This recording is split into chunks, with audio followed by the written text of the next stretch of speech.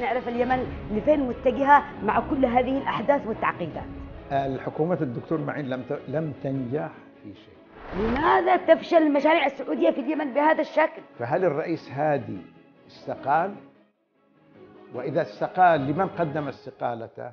إلى أي مدى استفاد الحوثيين من هذا ال- الفساد وهذا العبث الموجود؟ أجي اسمع أنه أصدر مكتب الإعلامي للشيخ غزوان المخلافي. ما إيش من مكتب إعلامي؟ وانت من يا غزوان المخلافي أصلا؟ أيش حقيقة الفساد وما يحدث في السلك الدبلوماسي؟ كانوا يريدوا التخلص من علي عبد الله صالح بس. يعني أصبحت اليمن بؤرة لفساد دولي. أنا قلت لواحد من أعضاء المجلس الانتقالي قلت له طيب أنتم واضعين إعلام دول التحالف خلفكم. طب اعتبروا إن اليمن دولة من دول التحالف يا حطوا العلم جنبها. إيش الذي يمنع اليمنيين إنهم يجتمعوا على طاولة واحدة ويوصلوا لحل؟ الحوثيين.